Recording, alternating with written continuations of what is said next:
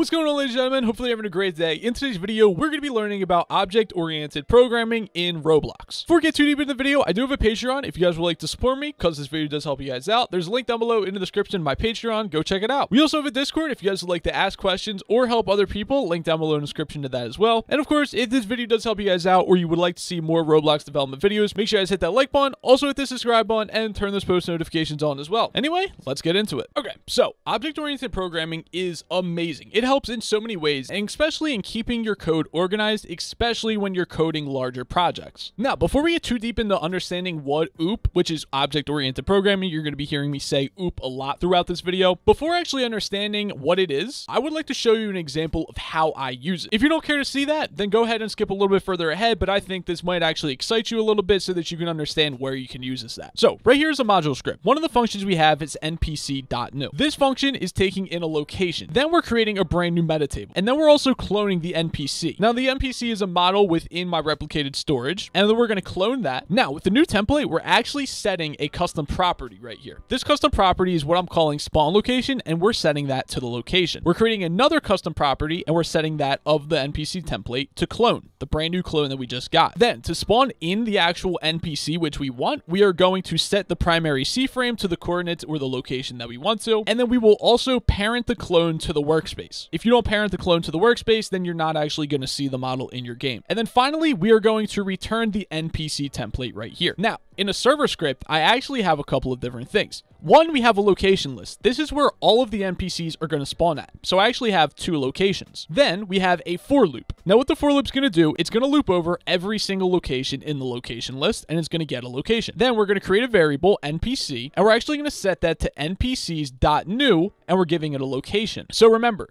we're going to call this function, we're going to give it a location, it's going to run through all this code, and then it's going to return the NPC template. Then, once we actually get the NPC, we're going to call a function of the NPC, which is the move function right here. So we're going to call that. Now, the reason that we're using task.spawn, you might not be too familiar with that, but the reason that we're actually using that is because the wait. We don't want the wait to stall out the script entirely, so we have to spawn a brand new task. I'm not going to get too in depth of what task.spawn is because that's unrelated. So now, what does the move function do? First, what it's going to do is it's going to split a string, and the string that's actually going to split is self.spawn location. Now, self actually refers to the NPC object itself. So NPC template would be the example of what the actual self is. So we're going to use the custom property spawn location, which we set right down here to location, and we're going to split the string provided. Then we're going to set X, Y, and Z to all the split. We're also going to make a while loop, and then we're going to wait five seconds. We're going to generate a random X and Z, and then we're going to say self.npc. Remember, another custom property, which we set right down here to clone. We're going to get the clone's humanoid, and then we're going to call a function on it called move to and provide it a vector new with the random X, the Y, and the random Z. So now let's start the game and we can see actually what happens. So we spawn in, the NPCs are spawned in right here, and then wait a couple seconds and they actually move around. So every five seconds, these guys are going to constantly move to different locations because of how we actually have the move function set up. Now we can actually mass scale this and all we have to do to increase the amount of NPCs, we literally just have to add more locations to it. And let's say if we wanted to make a simulator out of this, which was actually my original plan, we could also add another property to it like npc dot points equals 10. And we could say that every single time a player talks to an NPC, we could check the points property and then we can give that amount of points to the player. There are so many things that you can do with this and we can easily expand this system now that we have the base system by just adding more properties or changing certain things. And that's why object-oriented programming is so amazing because now this system's been created, it's so easy to expand and add brand new things to it. Okay, so now let's actually get into explaining and talking about object-oriented programming. I'm going to leave a link down below in the description to a really nice write-up article about object-oriented programming. It's really useful, and object-oriented programming is a really complex thing, especially for new people. I'd really recommend that you go ahead and give that a read because it definitely might give you another better understanding of learning this. I'll also be citing that as my resource and sort of using some of its explanation in this video as well because I think they did an amazing job. Okay, so what I'm going to do is I am going to go into server script service and I'm going to insert a brand new module script. So I'm going to recreate this sort of NPC system that I have because because I believe it's the easiest to explain and also make an actual usage case out of. So we're going to go ahead and name this script NPC. You guys can name whatever you want. We're going to set the table variable to NPC, and we're also going to return NPC as well. Now, real quick, I want to explain what an object is, or at least give you an example of what an object is currently in Roblox. So imagine if we wanted to say local int value, which is very common when initializing leaderboard stats or player stats in general. We're going to do local int value equals instance dot new, and then we're going to say int value. Now, right here is an object. Int value is an object, and we're creating a brand new int value. Then what we're going to do is we're going to take the int value and we're going to change whatever property that we want to of it. So the common property is name, and we could set that to name. We can then take the int value again and change its value to 10. And there's other properties of it that we can also change as well. So let's actually create a function for creating our own object. So we're going to do function npc dot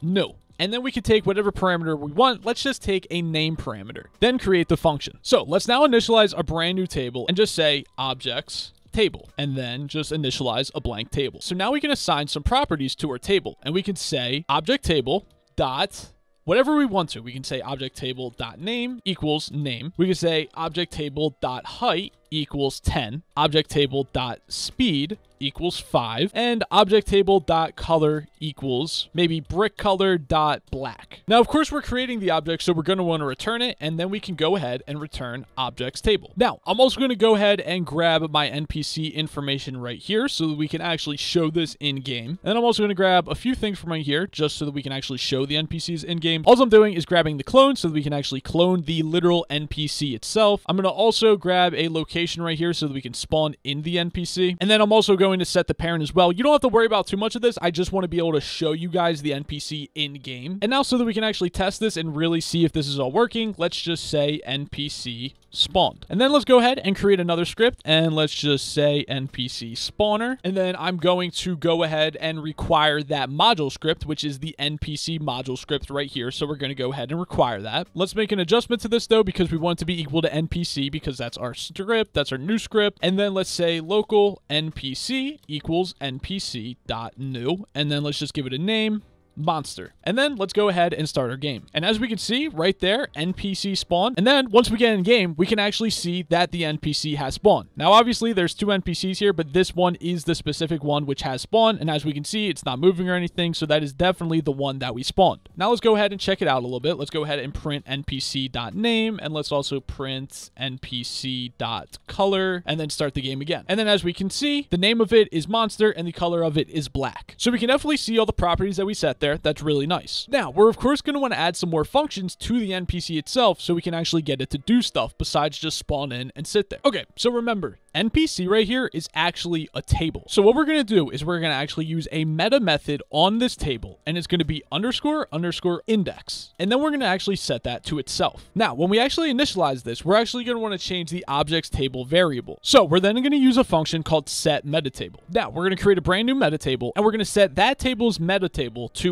NPC. So this might be a little bit confusing, but remember how we had objects table set to just another blank table? Well, we're basically doing the same thing. We can actually write it another way. So we can say set table, objects table, and we're going to set the meta table of the objects table to NPC. This is sort of the longer version of writing it. You could literally just write it like this and initialize that to the variable, but it might be a little bit more confusing. With the objects table, we're just creating a brand new blank table. And then with the set meta table method, we're actually setting the objects table, the blank table, to the NPC's table. So we're giving the objects table a meta table, which is NPC. So let's go ahead and create a new function called NPC. And now this time, instead of using a period, we're actually going to be using the semicolons. And let's name this function rename. And let's take in new name as the argument. So the reason that I created this function is because now think about this, right? NPC is a blank table. And what we're doing right here with this period is we are setting the new function to this meta table. Then what we're doing with the semicolon is we're doing the exact same thing. We are setting this function inside of the NPC's meta table. So think about it just like the object.name. We're setting the name property to the objects table. We're setting the height property to the objects table. We're setting the speed and the color all to this objects table. It's the exact same thing as setting new to the NPC meta table. This was confusing for me at first, but once I realized this exact thing, that npc.new is the exact same thing as doing objects table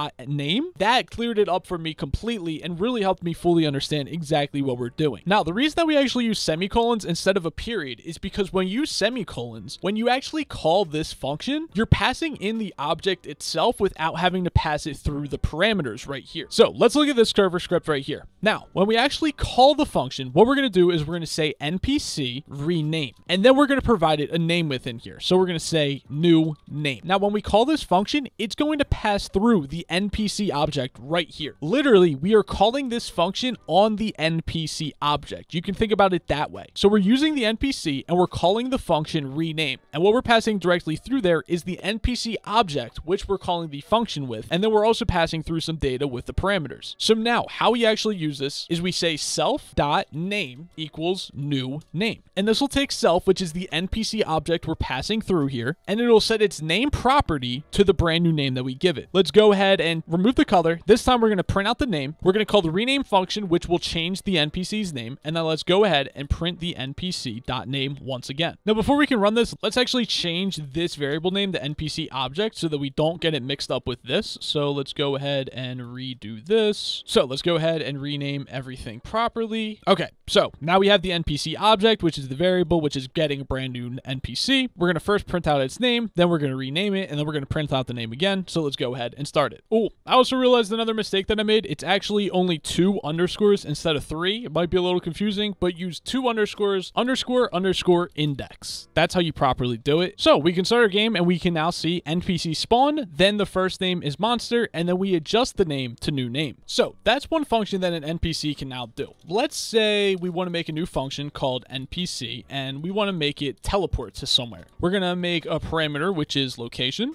Now, what we're actually going to want to do is we are going to want to go down to where we actually created at. And when we clone it, we're going to want to set objects table dot clone equals clone. So now we're actually assigning the NPC clone, the direct NPC, which we have cloned, and we're going to set that as the clone property. So we're going to say self dot clone to get the clone, and then we're going to use a function and set primary C frame part, and then we will set the location and we'll put the location directly into here. Okay, so we can go back to the NPC spawner and we can say wait five, and then we can call NPC object teleport, and then we can throw in any coordinates that we want to. So we can look at, we can use this part for a test example. We can take this position, we can go to NPC spawner, and then we can spawn it in right here. Now, actually, I don't think this is going to exactly work. So we're probably going to have to adjust this to X, Y, and Z, and then we'll do X, Y, and Z, and that should work. So then let's also print out teleported, and let's set this wait to 15. Okay, and then let's go ahead and start our game. Now we can see that the function's all called properly, and now we just gotta wait a couple of seconds, and we should be able to actually see it teleport directly to here. So remember, that NPC is over there, and eventually, after a few seconds, it will teleport over to here. So we can see it has now teleported and we can also see that it output teleport here as well. So let's talk about how we could actually expand this system. Now what this NPC variable is actually set to is it goes inside of the NPC's folder and then it just selects an NPC from within inside of here, which is called dummy. Imagine if we took that out of here and we just set it to the NPC's folder and let's just rename this to NPCs. Now when we create a brand new NPC object, we can ask what we want it to be named, we can also say NPC model. So we can also say what NPC model do we want? And let's just say what speed do we want? So now we can set the name, we can set the speed, and then let's do a for loop, and then let's loop through the NPC's folder. And let's get the children. Okay, so now we're going to say if npc dot name equals npc model, then do something. Now let's also define local clone outside of here. And then we could say clone equals npc clone. So we're doing the exact same thing basically as right here. And then we're going to set the clone property of the objects table to this clone that we just got from right here. And then we can set the C frame and we can set the parent and do all that good stuff. So what this is going to do is it's going to go through our NPCs folder. It's going to find the specific NPC that we're looking for and then it's going to clone it and then it's going to assign it to the table. So now we just made the NPCs actually so much easier to expand because now we can actually specify what NPC model we want and we can now use a ton of different NPCs if we choose to. You can also think about in this system system as well. This system was super basic, but I probably would have actually taken in the NPC model as well. But this allows me to just use one specific NPC and then give it a specific location for where we want to spawn it at. And when I call this, I actually go through a list of every single location where I want an NPC to spawn at. So using object-oriented programming allows you to make massive systems, but also split them into little different sections and functions that you can use. Like I said, it's super, super useful when you're making systems, which you want to be able to expand in the future, and you want to be able to use it for a couple of different things. Anyways, ladies and gentlemen, if this video did help you guys out, make sure you smash the like button. If you guys are new around here and you guys want to see some more Roblox scripting videos, make sure you hit the subscribe button and turn those post notifications on. I also have a Patreon if you guys would like to support me, link down below to that in the description. We also have a public Discord if you guys need some more help, want to ask your questions, or you want to help other people, link down below in the description of that as well. If you guys have any questions, leave in the comment section down below. Anyway, I hope that you guys have a great day, and I'll talk to you guys later. Peace.